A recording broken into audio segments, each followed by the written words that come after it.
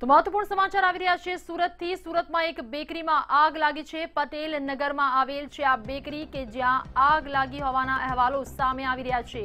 તો સુરતથી સમાચાર પ્રાપ્ત થઈ રહ્યા છે. પટેલ નગરમાં આવેલી બેકરીમાં આગ લાગી છે. આગ લાગતા સમગ્ર વિસ્તારમાં અત્યારે અફરાતફરી મચી છે. પાંચ ફાયર ફાઇટર્સ ઘટના સ્થળે પહોંચ્યા છે અને આગને બુઝાવવાની કામગીરી શરૂ કરવામાં આવી છે.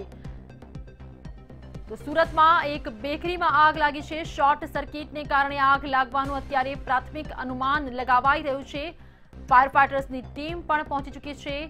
આગ બુઝાવવાની કામગીરી પણ હાલ ચાલુ છે. તો સુરતમાં કહી શકાય દિન પ્રતિદિન આગની બનાવ, આગના જે બનાવો છે એ વધી રહ્યા છે.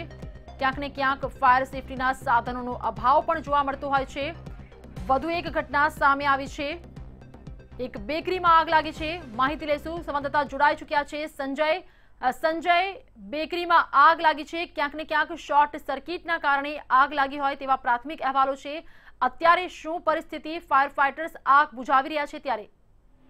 ઉધના પટેલનગરમાં બેકરીમાંથી જ્યારે વાયરિંગનો ધુમાડો ઉઠી રહ્યો હતો ત્યારે કર્મચારીઓનું ધ્યાન ગયું હતું ને તેમણે તાત્કાલિક સલામત સ્થળે તમામ કર્મચારીઓને બહાર કાઢી લીધા હતા.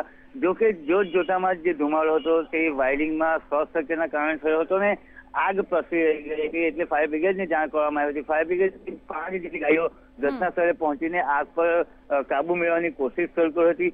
એક કલાકથી પણ વધુનો સમય ફાયર ફાઇટરને લાગ્યો હતો. પરંતુ સમયસર ફાયર બ્રિગેડ પહોંચી જતા આગ પર કાબુ મેળવવામાં સફળતા મળી છે અને કોઈ પ્રકારની જાનહાનિ આ આગની ઘટનામાં થવા પામી નથી. જી. સંજય આભાર તમામ માહિતી આપી તે બદલ તો સમયસર ફાયર ફાઈટર્સની ટીમ ઘટના સ્થળે પહોંચી ગઈ, જેના કારણે વધુ નુકસાન નથી નથી થયું, અને આ સાથે જ જાનહાનિ પણ જાનહાનિના પણ કોઈ જ સમાચાર નથી.